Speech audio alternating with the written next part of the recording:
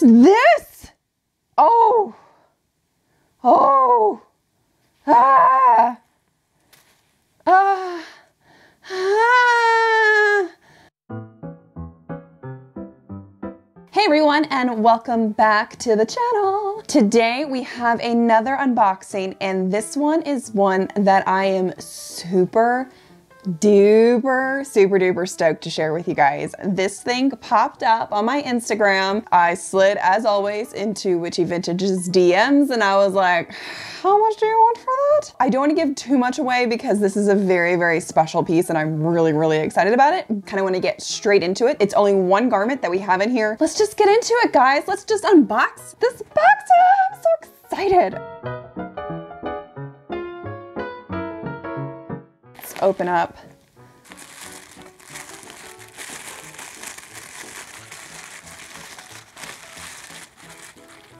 Ah, huh?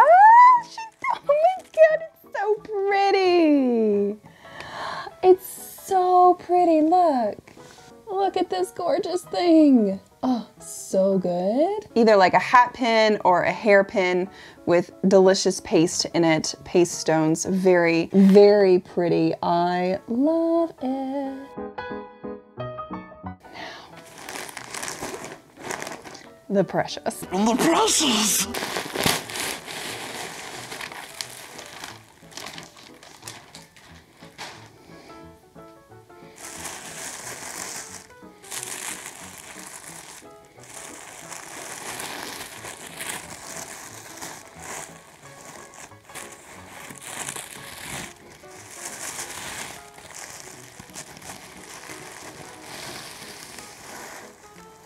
Okay, gentle, gentle. We have beading, some gorgeous satin. Oh my, little musty. Some chiffon. Mm! She's holding up well. She's not leaking too badly. Oh my goodness. Oh my goodness.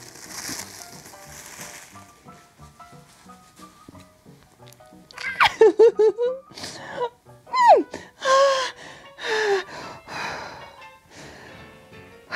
you guys ready for this? Welcome to first class in the Titanic, ladies and gentlemen, because we've got our own rose dress and it's so pretty. Oh my goodness. Oh, 11 year old me is dying right now. Oh, Jack Dawson, I'm ready for you.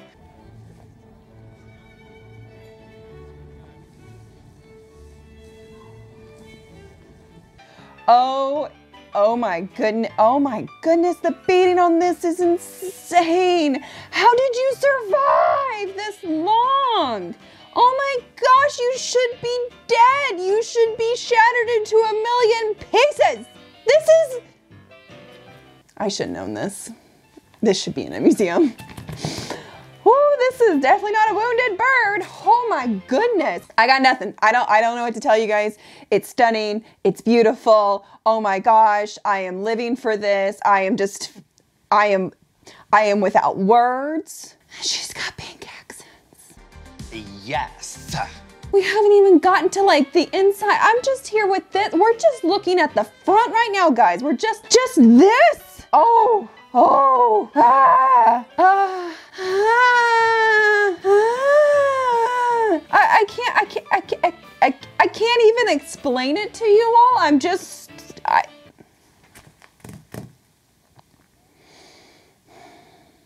You are beautiful. I can't even. This is just stunning.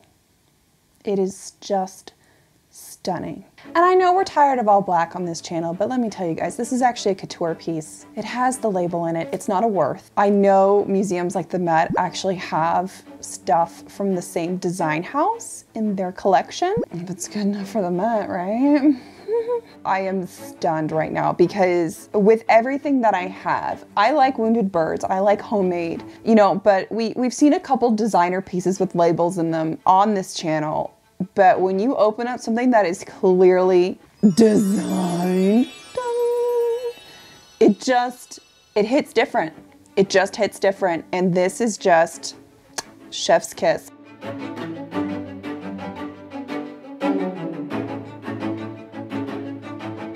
It is definitely early teens. So we are talking Titanic era. We are talking, you know, Rose. We're talking first class on the Titanic. Uh, this obviously did not go on the Titanic. Good life choices were made here. But this is definitely something that is meant to be worn in extremely nice occasions. We have the higher Empire waist that was trendy in the early teens. Black chiffon over top. This is beading down the center front. A satin skirt. Cute little puffy sleeves with delightful silk satin ribbon trim that has a very pleasant pleating pattern. Then we have pink chiffon undersleeves that have come through, delightful little tucks on them. Oh my gosh. More satin ribbon trim around the collar with the beading. The pink is coming through the black chiffon ever so slightly here at the chest area. So a little suggestive, you know, just a little something, something there, a little winky, winky, nudge, nudge, nudge. I'm gonna probably guess this is around a 32, 34 inch bust. The waist obviously obviously doesn't really matter, but we're probably cruising around a 24 inch waist here. All right, let's, let's just be, oh, you know what? Oh, I'm gonna put this on pause. I need a second pair of hands for this. I don't want to flip this by myself. She's she's fine. She's made it in the mail, but I would prefer to have a second set of hands. So we're gonna go call a guest star real fast.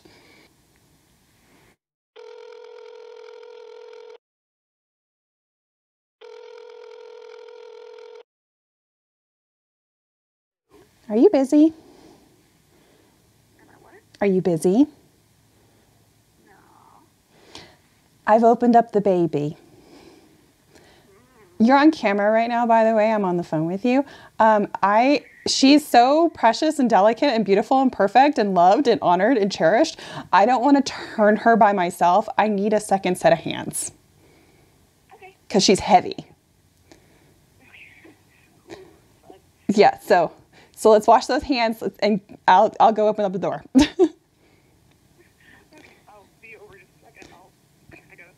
Okay, you'll be on camera, by the way. So I don't know if you need to like smack that face a little bit or something, but. Yeah, we'll figure it out. Okay, okay. All right. Bye. One minute, 37 seconds later. I don't have a mic set up for you. I'm sorry. But look! I brought Nicole over. Assistance was requested. oh. I know, right? She packs a very big punch in person. I, yeah, the pictures didn't yeah. show any of the nice little pink chiffon or anything. Oh, I know. she looks so much prettier. I know. I know. I was like, well, I'm gonna trust it because she looks so sad hanging there on just a hanger. Oh, no, she is. She is queen. So you can see we got beautiful silk satin down here. Mm -hmm. It is faced in wool. Oh. Nice touch. And then her underskirt completely weighted all the way through like a chain and it's silk twill. So the silk twill lining is weighted. It's faced in wool. All the raw edges are bound by hand. I feel like 1910 is the pinnacle of construction and then we yeah. just get like it was simpler before and it was simpler after. Yeah. Like they just peak. The beading's actually in shockingly good condition. I don't know how this silk chiffon has survived. she obviously was not on a hanger, like, because if she was on a hanger, she'd be like, Bleh. I can't tell if the beads are metal or glass with this discoloration. I don't know, but we have some rot like no, right there. They're jet. So we have a little bit of, I don't know why they use brown thread for the beading, but here we are. Uh, it probably um, ages. All, all the thread I've dealt with tends to colorize yeah. like that. Well, it's just that some of it's still black. Mm. Only some of it's white, like brownish. Mm. So yeah, if it was all like, but it seems very like even in its discoloration. Uh, it's just machine versus hand. Oh, see, she looks or something like, or like that, because it's it's all of the the little oh, seed right. beads that are tamboured on. Mm. Whether it's by, hmm. I'm not sure if they had machines at that point. We do now, but the yeah the seed beads are done with a tambour. Whatever sort of thread can stand up to the hook. I want to turn her so we can get into her. I'm just not sure the best way to turn her. Oh, and by the way, guys, again, for those of you who are unfamiliar, I know I've said this recently, but just for the sake of clarity, we're not wearing gloves. Our hands are clean because we don't want to rip the chiffon. Oh, she's heavy right there. There, there we go. Okay, you got it? That there. Roll into two. There. There we go. It's like the disproportion of like weight and volume of the fabric. I know that's what I'm That's like what's so Lift from the scary. part, Yeah. or the satin at least. Like, Yeah. Never, never pull from the chiffon. We don't manhandle this chiffon. The fact that it has survived is a miracle.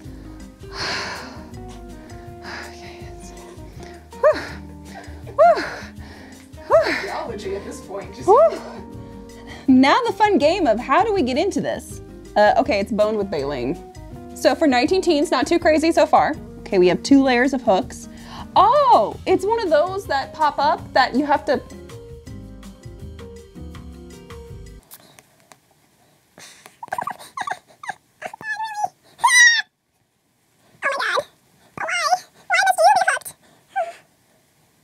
Okay, here's where we get funky. Pink pocket. Very 1860s. With its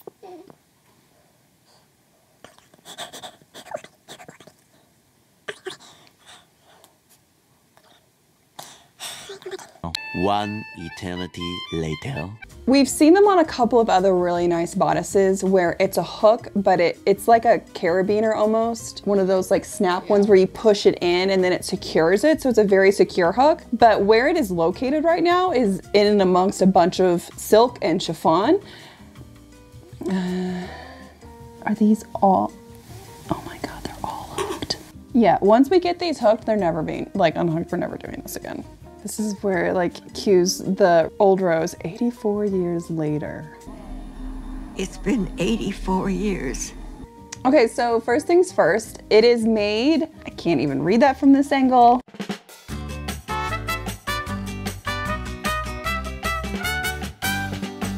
Cole, Cohen, Cole, Cohenham. That looks like an E.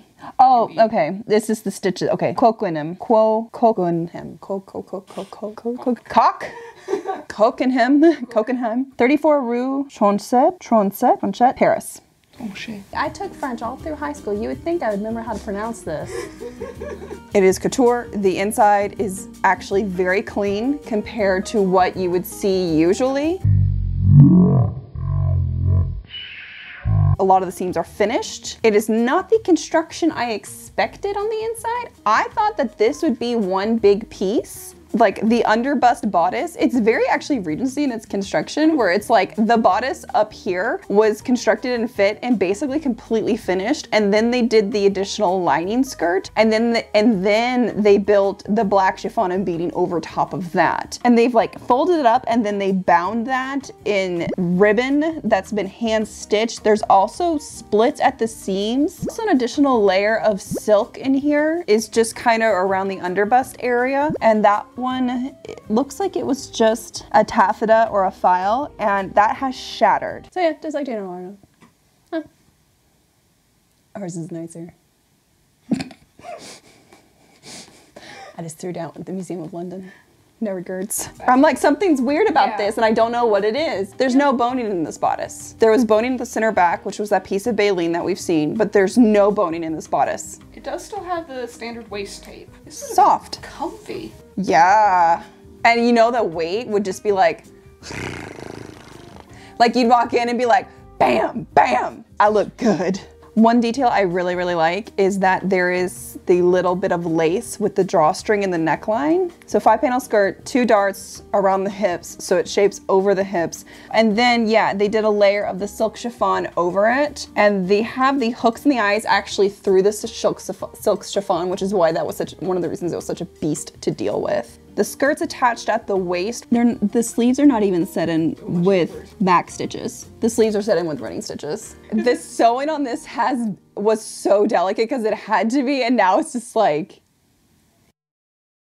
couture gowns. They're very nicely finished, but you still see stitches in different colors for the trim being attached. So when you're stitching your really nice evening gown and you're attaching stuff, don't worry that it goes through. Of all the things that I've made, trying to copy this era has been be like, why more? Why more? So much more. They understand that they are literally hanging that much weight off of something that shouldn't hold it. They just keep layering and adding, and you start to understand why once things started to lose their structure right around this time, they just went to let's make a sack.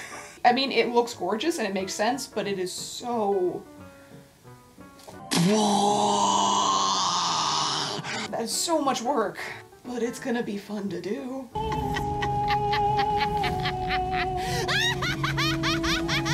So I think when it comes to your Titanic dreams,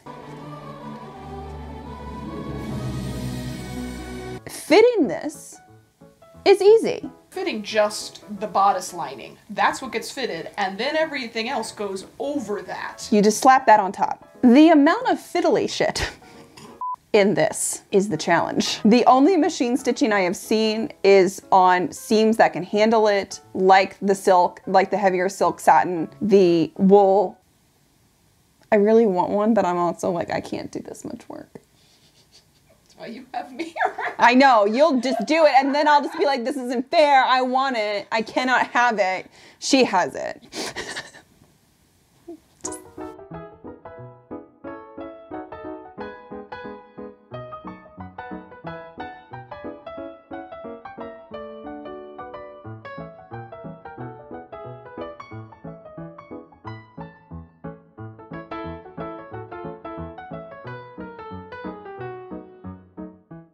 All right, guys, so that is this beautiful 19 teens Titanic era couture, just bam, evening gown, dinner gown that we have now in my little hoardy hoard. I hope that you guys had fun looking at this beautiful gown with me. If you want to get more details about the construction of this gown, more B-roll, more in-depth photographs and video clips, as well as a PDF write out over how this gown is constructed down to the stitches per inch. On my Patreon, I have the Delicious Details tier, which is my $10 tier. And for every gown or bodice or petticoat that we look at here on this channel, I do a more in-depth dive into that garment and I put it up for that tier on my Patreon. So the $10 tier and up. So if you want to get more of this beautiful gown, that's where I suggest you go and check it out. And now I believe Nicole and I are going to sit here and drool over this thing. And I hope with that you all have an amazing day. And I will see you all here next week, same time, Sunday mornings. And I'll see you then. Bye. Holy this thing is pretty. You also have just like general, like smaller, more dainty hands than I do. And they're So- beefy strong. yeah. Feeling some good rose vibes from the Titanic. I don't know where Jack is, but here we are. Popped one out like chiclets. But I was also like, this is like way too good. Like, I can't just keep this for myself. I need another body here.